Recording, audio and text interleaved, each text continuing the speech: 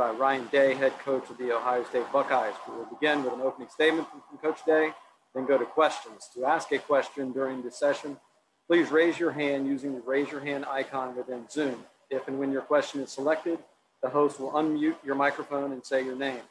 Once your question has been answered, your microphone will be muted and your hand will be lowered. Coach Day, please give us a brief opening statement and then we will go to questions. Uh, yeah, tough night. Tough night. Um, I'm proud of our team, proud of the seniors, proud of um, the year that we've had, but um, that was a tough night. You know, um, a lot to unravel there. Um, but you know, when you look a team in the eye in the locker room after the long season we've been through, um, you know, it's it's hard to start uh, focusing on you know one or two plays or whatever it was, you know, because they've been through so much. Proud, proud of the legacy that uh, the seniors have left behind. Um, but uh, you got to give credit to, to Alabama. Uh, certainly a, a very good team, and uh, they played really well tonight.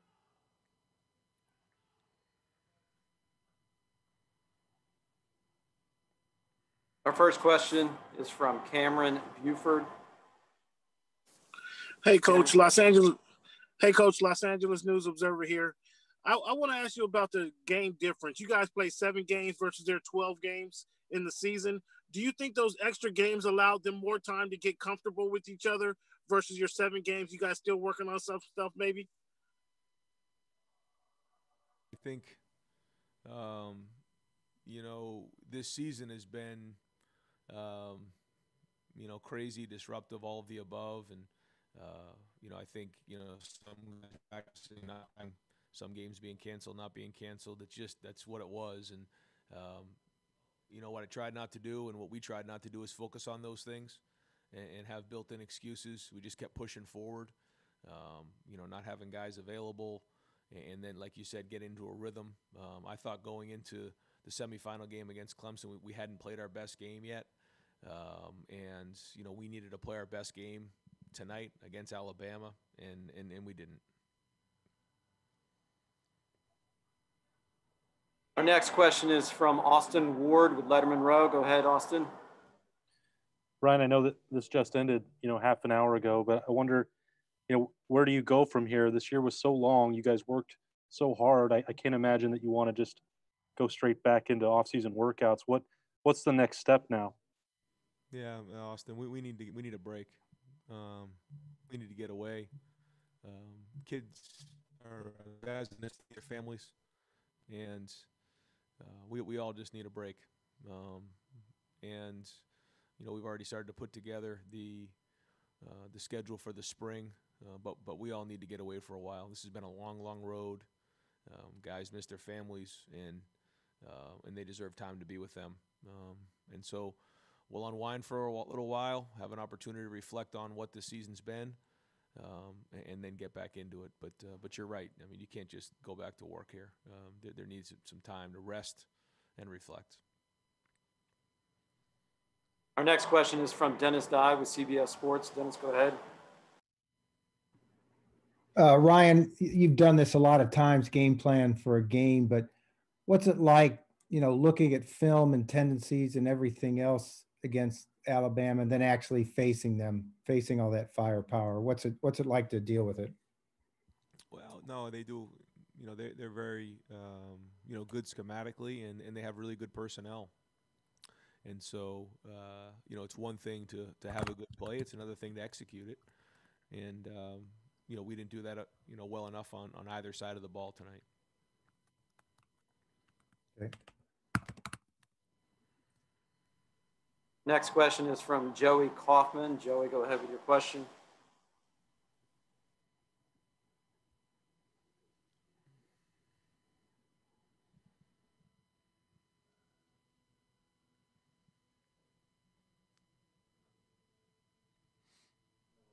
Joey, are you there? Okay, we'll move ahead. Then with our next question from Pranav Rama. Go ahead with your question.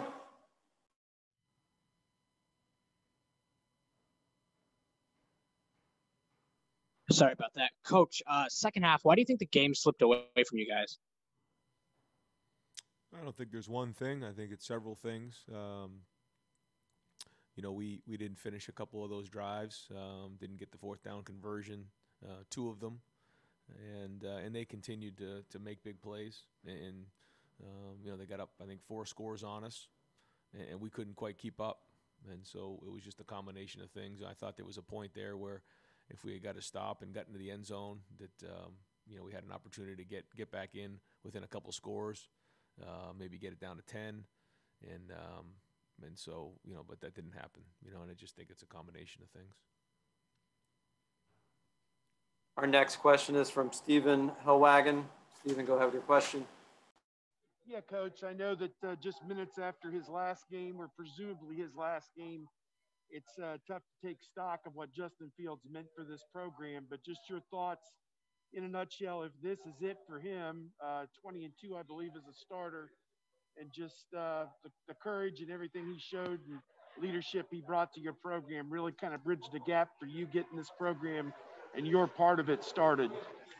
Yeah, I mean, Justin's been unbelievable. He's a as competitively tough uh, a player as I've been around. You know, for him to go out there and play today, um, I mean, really shows his toughness and how much he loves his brothers. You know, he took, still took some shots on that hip, and um, you know, he was he was not 100% tonight. You know, he he was working through it and uh, made some really good throws, made some gutsy plays. You know, kept us in the game there for a while, uh, but he's uh, he's an unbelievable. I miss him. Our next question is from Nathan Baird. Nathan, go ahead with your question. Ryan, you knew that with their explosiveness and their balance, that uh, I guess you're kind of in a damned if you do, damned if you don't thing sometimes on defense. But just what was the approach, and um, as far as how, how to how to play them, uh, the mix of linebackers, mix of defensive backs. What, what was the choice there, and and why do you think they were able to exploit it so well? Well, you know, we we wanted to make sure we didn't change, um, you know, what we do just fundamentally, but we also had to have some change ups because, um, you know, if you just sit there, they, they're going to pick you apart. But, but again, I think it goes back to, you know, it's one thing to have some ideas, it's another thing to execute them. And uh, we didn't do that well enough. There was just obviously way too many big plays, and um, you know, and, and then on offense, you know, we couldn't we couldn't go score for score with them, and you know, and then the game gets out of hand. But um, you know, our, our guys competed. They play all the way to the end, and um, you know, I wouldn't have any other group with me. You know, they're they're a special group of men. But to go back to your question, yeah, I mean, we had some things that we we did that we wanted to change it up. Uh, we also wanted to make sure we were doing the same things that got us to this point. Uh, but clearly, it wasn't good enough. Next question is from Rob Oller. Rob, go ahead with your question. Hey, Ryan, it's one thing to see a guy on tape, another to see him live. Can you just comment on DeVonta Smith? Uh, have you seen anything quite like that? Is he one of the best you've seen? And, and the pressure of having to score every time as an offensive coach. Can you speak to yeah. that? Yeah, no, it's it's that part is tough, and then and then I, I think that there's a feeling of if you, if you if you don't score, um, you know you're going to get down, and then like you said, the pressure mounts. Um, you know, we got that turnover early that kind of got us going a little bit, um, but yeah, I mean, I don't know if I've seen one better than better than that. I mean, he just seemed to uh, create a lot of separation. Um, he's obviously very fast. He he plays stronger uh, than he looks. You know, he's not a very big guy, but he's his play strength is is significant, and um, he just eats up ground down the field once he gets those strides going. Tremendous ball skills. Um, you know, Heisman Trophy winner and uh, well deserved. He's a, he's a great player. Our next question is from Bill Landis. Bill, go ahead with your question. Hey, Ryan, can you hear me? Yes. Hey, thanks. Um, you, you said you didn't want to change your defensive plan coming into this game. This this vision, the structure of this defense is, is something you said you wanted to keep in place. Do you think you need to change it? Is it is it too rigid when you get on the field with a team that has this kind of talent, a, a team that you're going to see, you know, every year moving forward once you get to this kind of stage? Well, like I said, we, we did do some different things. Um, you know, we, we changed up some of the looks and, and played some two high which is not something we typically do a lot of. Um, you know, pressured some more the last couple games. So I, th- I thought we, d- we did mix it up um, a decent amount. Uh, but again, it, it's another thing to actually execute it. And, uh, you know, when you're playing against elite uh, players, and, and uh, you know, this is probably one of the better offenses in, in college football in a long time, um, you know, the margin for error is tiny. So um, I think it's probably more the execution. You know, I thought at least, you know, in the first half, we did a decent job against the run game, uh, which was a huge emphasis point, is we had to stop the run, and, and they're very, very well balanced. And so that's the challenge when you go against a team like this. But uh, clearly, we didn't hold up, you know, well enough in the pass game.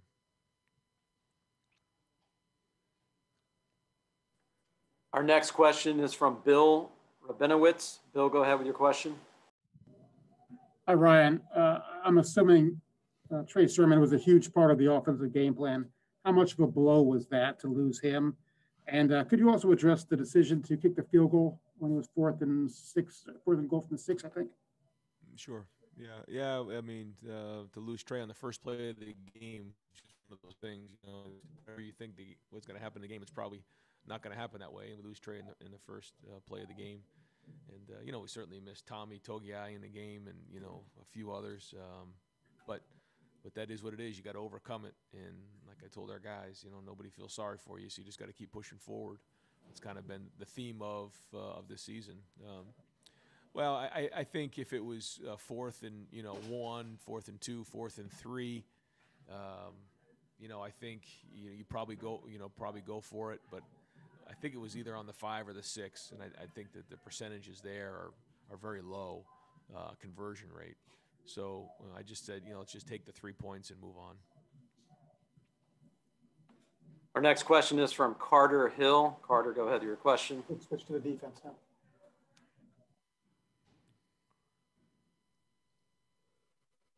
Hey, uh, Coach Day, thanks for taking my call. Um, looking back on the uh, the season, what is the difficulty about the season? I know with the coronavirus and all that, was that the difficult part of the season to keep everybody together? Yeah, yeah. Um, um, I mean, there was a lot that went into that. Um, this is, you know, it's probably an hour uh, answer to, to that whole thing. Um, but yeah, it's it's been a lot with these guys. Um, you know, having no fans, having no season, having games canceled. Yeah, it was it was a challenge, but um, wouldn't have it any other way. Uh, what what these guys have learned and what what our coaching staff has learned and this whole program has learned about, you know, what our culture is all about. Very very proud of that. And uh, for the guys who are in the locker room who uh, are going are going to be coming back, they have something to uh, motivate them in the off season. You know that, that feeling of coming off the field. We felt that way coming off the field last year in Clemson. Now we feel some way coming off the field against Alabama. So um, I'm going to use that as a motivation. You know, in the off season. We have time for a few more questions. Let's try Carter Hill once again. Coach, how would you reflect on Ohio State football in your opinion in 2020?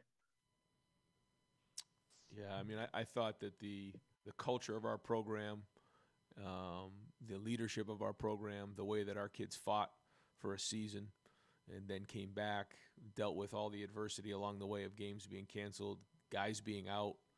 Um, you know, for some programs, there was a lot of guys out early and they kind of got them back and were able to get into a rhythm. It was very, very difficult for us to do that we had you know the offensive line was out for an extended period of time, and then um, you know in this game we had the defensive line, we had wide receivers, um, you know during the Big Ten championship game, and so for us to continually work through all of that and get to this moment right here was an unbelievable success, and um, you know, we won the game. The goal was not to get here; the goal was to win the game. But all that being said, uh, couldn't be prouder of our culture, what our kids are made of, and where the program's headed. And our last question for Coach Day will come from Tino Benzi.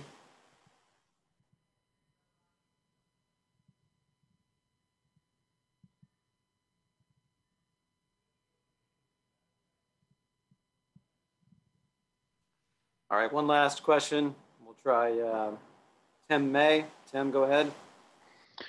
Yeah, Ryan, as you look back on it, there were a few times when y'all made it almost look easy going down the field, and then others uh, where was herky jerky. And I'm just wondering as as you reflect back, what was it that Alabama was doing defensively, rolling the dice, et cetera, that gave you the most problems? And could you give us an update on Wyatt Davis? Uh, yeah, Wyatt. Uh, just talked to him. Um, you know, he he kind of re-injured that knee. Um, Yeah. Sore right now. I'm not sure.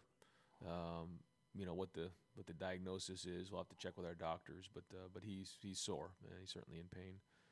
Um, yeah, you know, on offense, eh, the thing for us was I felt like when we got the first first down, we kind of got going and we get into our rhythm and our tempo. Um, when we couldn't get those first first downs, uh, that's when I think we had three three and outs in the first half. That hurt us, and then uh, I think we had a couple in the second half as well. And and one of the challenges is that you know we like to go tempo, um, but when you go tempo, when you go fast, you know you put the defense back on the field, and uh, when you go against an offense like this, um, that's kind of in the back of your mind. And so it was kind of hard for us to get into a rhythm. It was hard for, for us to get into that kind of tempo. We did a little bit. We got a couple and we, we did a nice job there. Um, but you know there was also the other side of the ball, and, and we had to kind of balance that out. Um, but at the end of the day, you know if we just did a little bit better job executing to get those first couple first downs and get into a little bit of rhythm of the drive, uh, we would have done better.